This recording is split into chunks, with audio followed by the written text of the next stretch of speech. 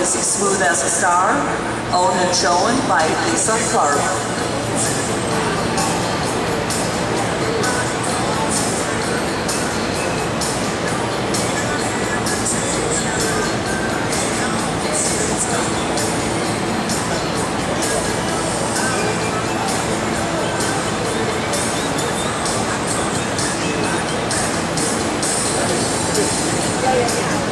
The